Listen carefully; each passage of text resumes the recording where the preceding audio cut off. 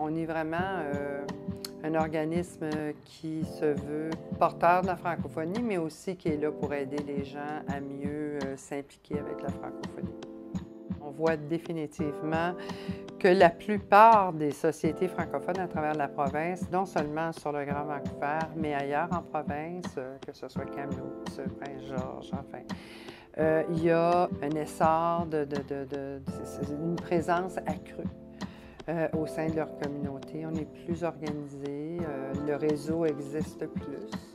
Même d'ailleurs avec le CCA-FCB, ça a aidé beaucoup ça, à renforcer le réseau francophone partout dans la province. Définitivement, je suis arrivée l'année qu'ils ont été créés.